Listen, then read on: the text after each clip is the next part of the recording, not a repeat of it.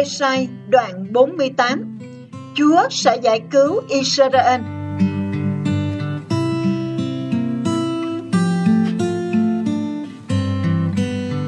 Hãy nghe đây, hỡi nhà Gia-cốp, hỡi những kẻ được gọi bằng danh Israel và những người ra từ nguồn cội của Juda, những người lấy danh Chúa mà thề, cầu khẩn Đức Chúa Trời của Israel nhưng lại không thật lòng và ngay thẳng.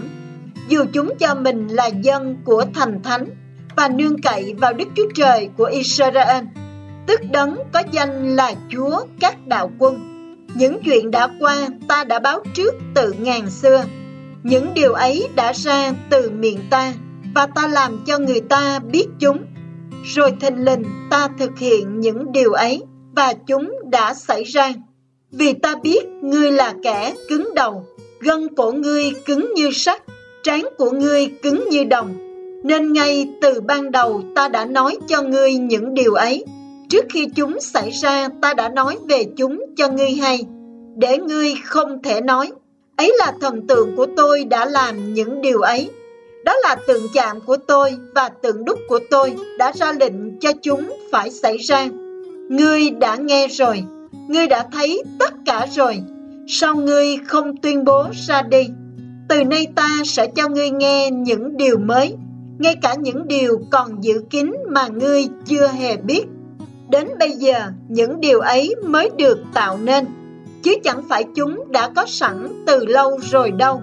Trước ngày này, ngươi chưa bao giờ nghe về chúng, để ngươi không thể nói.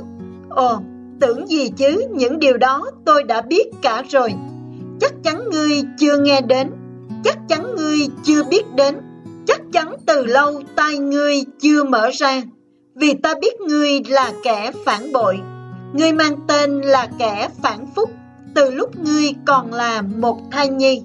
Bấy lâu nay vì danh ta, ta cam nén giận, vì sự ca ngợi dành cho ta, ta dằn lòng chịu đựng ngươi, mà không tiêu diệt ngươi. Này, ta đã tinh luyện ngươi, nhưng không như người ta luyện bạc. Ta đã rèn luyện ngươi trong hồ lửa khổ đau. Nhưng nay vì cớ ta, vì chính ta, ta sẽ ra tay hành động. Chứ lẽ nào ta cứ để cho danh ta bị sỉ nhục hay sao? Ta sẽ không nhường vinh hiển ta cho một kẻ nào khác. Hỡi Gia Cốt, hãy lắng nghe ta. Hỡi Israel người ta đã gọi, ta là đấng ấy, ta là đấng đầu tiên, ta cũng là đấng sau cùng. Chính tay ta đã đặt nền trái đất, tay phải ta đã trải rộng bầu trời. Khi ta gọi chúng, chúng cùng nhau đứng dậy. Hỡi tất cả các ngươi, hãy họp lại và lắng nghe. Ai trong vòng chúng đã công bố những điều ấy? Chúa yêu thương nó. Ngài sẽ thực hiện điều đẹp ý Ngài đối với Babylon. Ngài sẽ đưa tay ra nghịch lại người canh đê. Ta, chính ta đã phán phải, ta đã gọi nó, ta đã dẫn dắt nó, nên đường lối nó sẽ thành công thịnh vượng. Hãy đến gần ta và nghe rõ điều này. Từ ban đầu, ta không nói điều gì bí ẩn. Lúc nó xảy ra, ta đã có ở đó rồi. Và bây giờ, Chúa hằng hữu và thần của Ngài đã sai tôi. Chúa, đấng cứu chuộc ngươi, đấng thánh của Israel phán thế này. Ta là Chúa, Đức Chúa Trời của ngươi, đấng dạy bảo ngươi để ngươi được phước, đấng dẫn dắt ngươi vào đường lối ngươi nên đi. Ôi ước chi ngươi chú ý đến các điều răng ta, thì hòa bình thịnh vượng của ngươi sẽ còn mãi như dòng sông vô tận. Sự thành công của ngươi sẽ không ngừng như sóng ở đại dương. Con cháu của ngươi sẽ đông như cát nơi bờ biển. Dòng dõi của ngươi sẽ nhiều từ cát của đại dương danh của ngươi sẽ không bao giờ bị xóa bỏ và chẳng bao giờ bị diệt mất trước mặt ta. Hãy rời khỏi Babylon, hãy trốn khỏi dân canh đê, hãy cất tiếng hát ca, hãy tuyên bố, hãy công bố điều ấy ra, hãy truyền tin ấy đến tận cùng trái đất, bảo rằng Chúa cứu chuộc Gia Cốp đầy tớ Ngài.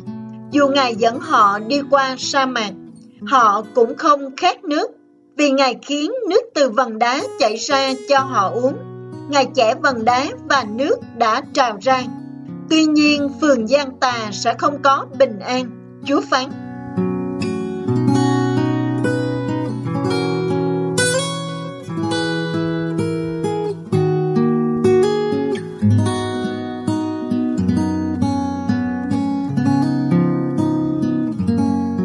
Ê-sai đoạn 49 Sứ mạng của đầy tớ Chúa.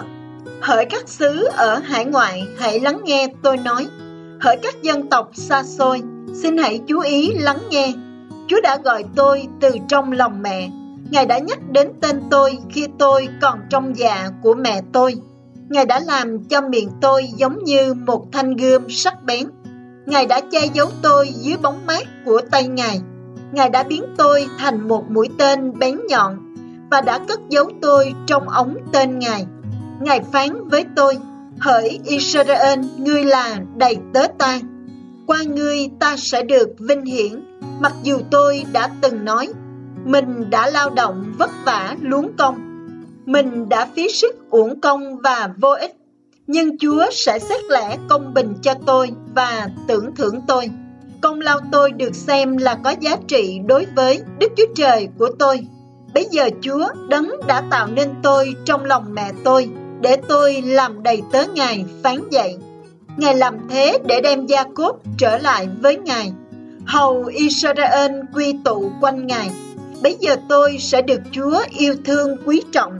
Và Đức Chúa Trời của tôi chính là sức mạnh của tôi. Chính Ngài phán, Ngươi làm đầy tớ ta để lập lại các chi tộc của Gia Cốt để đem những người còn sống sót của Israel trở về, ấy là việc nhỏ. Này, ta sẽ làm cho ngươi trở thành ánh sáng cho muôn dân, để qua ngươi ơn cứu rỗi của ta có thể đến những nơi xa xôi và cực kỳ hẻo lánh trên mặt đất. Chúa, đấng cứu chuộc Israel, đấng thánh của họ, phán về người bị người ta khinh bỉ Người bị chính dân mình ghê tởm, người làm đầy tớ cho những kẻ quyền thế rằng, các vua sẽ thấy ngươi và đứng dậy. Những người quyền thế sẽ sắp mình phủ phục trước mặt ngươi, bởi vì Chúa, đấng thành tín, đấng thánh của Israel đã chọn ngươi. Dân ở Sion được trở về. Chúa phán thế này, ta sẽ nhậm lời ngươi trong thì thuận tiện, ta sẽ phù hộ ngươi trong ngày cứu rỗi ta sẽ gìn giữ ngươi và lập ngươi làm một giao ước với dân để tái lập đất nước này và chia đất bỏ hoang cho chúng làm sản nghiệp để bảo kẻ bị tù rằng, hãy ra hưởng tự do. Và bảo kẻ ở trong ngục tối rằng, hãy ra ngoài ánh sáng. Họ sẽ được chăn nuôi suốt đường đời còn lại. Các đồi trụi sẽ biến thành những đồng cỏ cho họ dùng. Họ sẽ không còn đói khát nắng cháy sẽ chẳng thiêu họ, mặt trời sẽ không nung họ, vì đấng thương xót họ sẽ dẫn dắt họ và sẽ dẫn đưa họ đến những dòng nước mát ngọt ngào. Ta sẽ làm một con đường xuyên qua mỗi ngọn núi. Các đại lộ của ta sẽ được đắp cao lên để phẳng bằng. Kìa, những người ấy sẽ từ xa tiến đến. Hãy xem, những người từ phương Bắc, những người từ phương Tây, và những người từ xứ suy niêm trở về. Hỡi trời cao, hãy cất lên tiếng hát. Hỡi đất thấp, hãy trỗi giọng reo mừng. Hỡi núi đồi, hãy bật lên lời ca ngợi. Vì Chúa đã an ủi con dân Ngài và bày tỏ lòng thương xót với những kẻ bị khốn khổ của Ngài. Siôn đã từng nói, Chúa đã bỏ tôi rồi, Chúa của tôi đã quên tôi rồi. Có thể nào người mẹ quên con thơ còn bú của mình hoặc không thương xót đến con trai ruột mình sao? Dù người mẹ có thể quên con thơ mình đi nữa, ta sẽ chẳng quên ngươi. Này, ta đã ghi khắc ngươi vào lòng bàn tay ta. Các tường thành của ngươi hằng ở trước mặt ta. Con cái ngươi đang vội vã trở về. Bọn phá hoại và những kẻ làm ngươi bị đổ nát hoang tàn sẽ rời khỏi ngươi. Hãy ngước mắt lên, nhìn quanh và xem. Tất cả những người ấy tụ họp lại để đến với ngươi. Chúa phán, ta lấy chính sinh mạng ta để bảo đảm. Ngươi sẽ đeo tất cả chúng vào mình như đeo đồ trang sức và mang chúng trên người như cô dâu mang giải lụa thắt lưng. Thật vậy, những nơi vốn điêu tàn và hoang vắng, những vùng đất của ngươi từng bị hủy phá, tan tành. Khi ấy, những nơi đó sẽ trở thành quá chật, không đủ chỗ cho người ta cư ngụ. Bấy giờ, những kẻ đã từng ăn nuốt ngươi sẽ lánh xa ngươi. Những đứa con ngươi sinh ra sau thời kỳ đau buồn, vì đã mất những đứa kia sẽ nói vào tai ngươi rằng chỗ này chật quá đối với con xin cho con chỗ khác để con ở bấy giờ ngươi sẽ dò lòng tự hỏi ai đã sinh cho tôi những đứa con này tôi đã mất con và trở thành đơn chiếc. Chúng đã bị bắt đem lưu đày và bị phiêu bạc khắp đó đây. Nhưng ai đã trưởng dưỡng những đứa này thế? Này tôi đã bị bỏ rơi cho cô độc. Thế mà từ đâu tôi có được những đứa con này? Chúa phán thế này, Này, ta sẽ sớm đưa tay ta trên các nước, tỏ dấu hiệu ta ra giữa các dân, để chúng bồng ẩm các con trai ngươi trong tay đem về, và mang các con gái ngươi trên vai đưa về nước.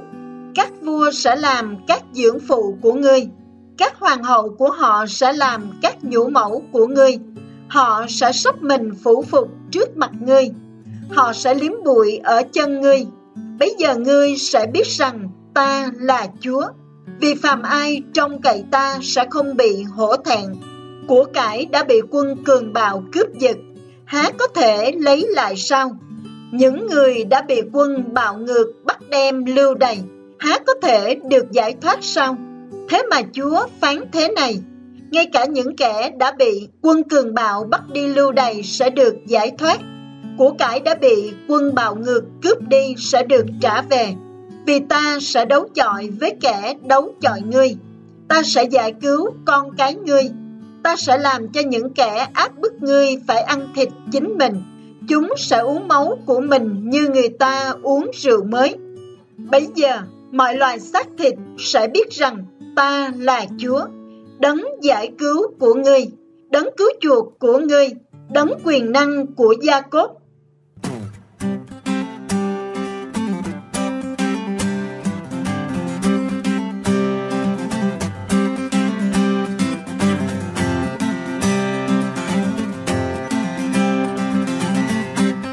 sai, đoạn 50 Dân phạm tội khiến đất nước bị tai họa. Chúa phán thế này, Chứng thư ly dị mẹ các ngươi. Người mà ta đã rảy bỏ đâu rồi? Hoặc trong số những người ta cho làm chủ nợ, Ai là người đã được ta bán các ngươi cho? Đúng ra là vì tội của các ngươi mà các ngươi đã bán chính mình. Chính vì sự vi phạm của các ngươi mà mẹ các ngươi đã bị rảy bỏ. Tại sao khi ta đến chẳng còn người nào cả? Khi ta kêu chẳng còn ai để trả lời. Phải chăng tay ta ngắn mà không chuột được? Hoặc ta không có khả năng giải thoát hay sao? Kìa, ta quở một tiếng, biển cạn khô tức khắc. Ta biến các sông thành hoang địa khô cằn. Cá hôi thối vì chẳng còn nước nữa.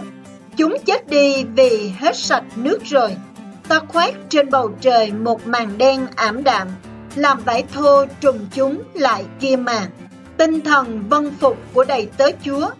Chúa Hằng Hữu đã ban cho tôi cái lưỡi của người có học, để tôi biết nói lời nào thích hợp, hầu nâng đỡ kẻ ngã lòng. Mỗi buổi sáng, Ngài kêu tôi thức dậy. Ngài đánh thức tay tôi để chăm chú lắng nghe như một học trò. Chúa Hằng Hữu mở tay tôi, Tôi không phản đối và chẳng quay bước, bỏ đi. Tôi đưa lưng cho những kẻ đánh tôi. Tôi đưa má cho những kẻ nhổ râu tôi. Tôi không giấu mặt để khỏi bị sỉ nhục và phỉ nhổ. Vì Chúa Hằng Hữu sẽ giúp đỡ tôi. Vì thế tôi sẽ không hổ thẹn. Vì thế tôi sẽ trơ mặt ra như đá lửa. Tôi biết tôi sẽ không bị hổ thẹn. Đấng xác minh tôi công chính ở gần tôi ai muốn đấu chọi với tôi chăng? Xin đứng ra để chúng ta đối mặt với nhau. Ai muốn chống đối tôi chăng? Mời người ấy hãy đến gần tôi. Này, Chúa Hằng Hữu sẽ giúp đỡ tôi. ai là kẻ sẽ lên án tôi? Kìa, chúng sẽ cũ mòn như chiếc áo, mối mọt sẽ ăn chúng hết sạch. Ai trong các ngươi kính sợ Chúa? Ai vâng theo tiếng của đầy tớ Ngài? Ai đi trong bóng tối mà không cần ánh sáng? Người ấy hãy tin cậy vào danh Chúa và nhờ cậy vào Đức Chúa Trời của mình. Này, hỡi tất cả các ngươi là những kẻ nổi lửa lên phóng hỏa, những kẻ đốt lên những ngọn lửa hại người. Hãy bước đi giữa ngọn lửa do các ngươi đã đốt và bị hỏa thiêu giữa ngọn lửa do các ngươi đốt để hại người. Đây là điều các ngươi sẽ nhận lấy từ tay ta. Các ngươi sẽ nằm xuống trong đớn đau cùng tột.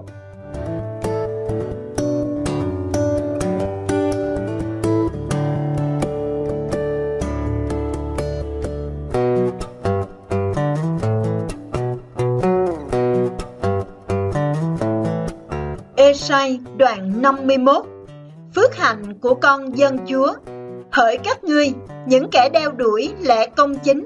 Hỡi các ngươi, những người tìm kiếm Chúa Hãy lắng nghe ta. Hãy nhìn vào vần đá mà từ đó các ngươi được đục ra. Vào hầm đá mà các ngươi được lấy ra. Hãy nhìn vào Abraham tổ phụ các ngươi. Vào Sarah tổ mẫu các ngươi. Vì ta chỉ kêu gọi một mình ông ấy rồi ta ban phước cho ông ấy và làm cho ông ấy trở nên đông đúc. Thật vậy Chúa sẽ an ủi Sion, Ngài sẽ an ủi những nơi hoang tàn của nó, Ngài sẽ biến đồng hoang của nó trở nên như Eden, làm sa mạc của nó trở thành như vườn của Chúa. Những nơi ấy sẽ tràn đầy hân hoan và vui vẻ, lòng biết ơn và tiếng hát lời ca. Hỡi dân ta, hãy nghe ta, hỡi nước ta hãy chăm chú nghe ta, vì luật pháp sẽ do ta ban bố. Ta sẽ làm công lý của ta thành ánh sáng cho muôn dân.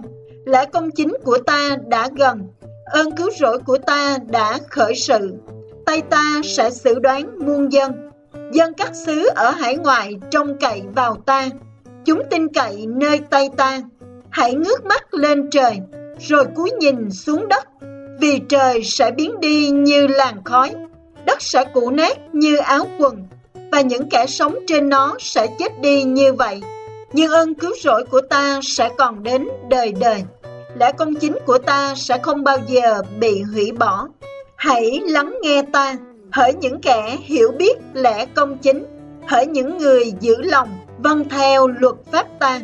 Đừng lo sợ khi bị người ta chê trách đừng hãi kinh khi nhục mạ đến với mình, vì chúng sẽ bị mối mọt ăn như ăn mất tiêu quần áo, và bị dòi bò ăn như ăn sạch áo da lông.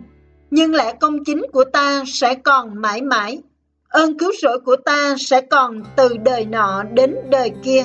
Ôi lạy Chúa, xin Ngài thức dậy, xin thức dậy và vung cánh tay quyền năng mạnh mẽ.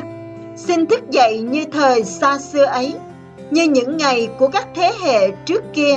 Há chẳng phải Ngài đã phân thay con thủy xà ra từng mảnh?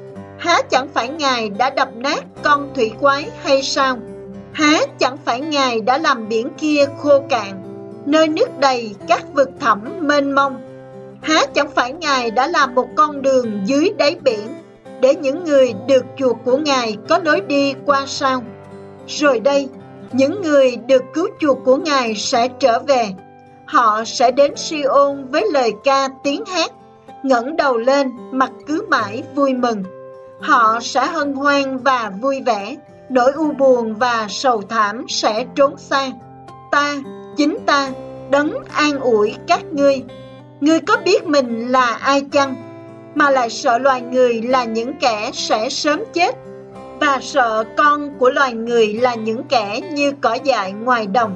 Chẳng lẽ ngươi đã quên Chúa, đấng dựng nên ngươi, đấng căng các tầng trời, đấng đặt nền trái đất, nên ngày nào ngươi cũng nơm nớp lo sợ, cơn giận của kẻ áp bức ngươi, kẻ toan mưu tiêu diệt ngươi như thế.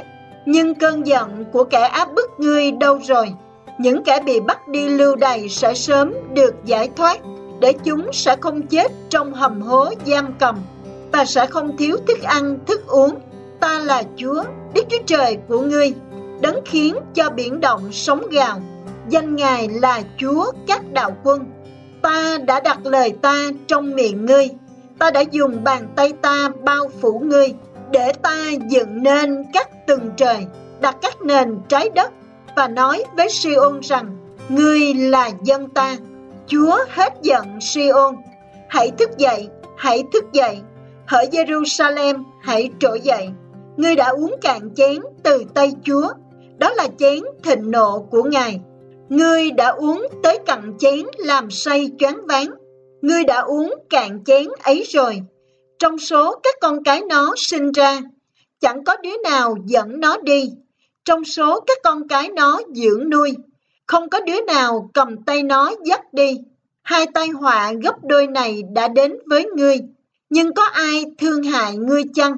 Hoang tàn và hủy diệt, nạn đói và gươm đao. Ta dùng ai để an ủi ngươi đây?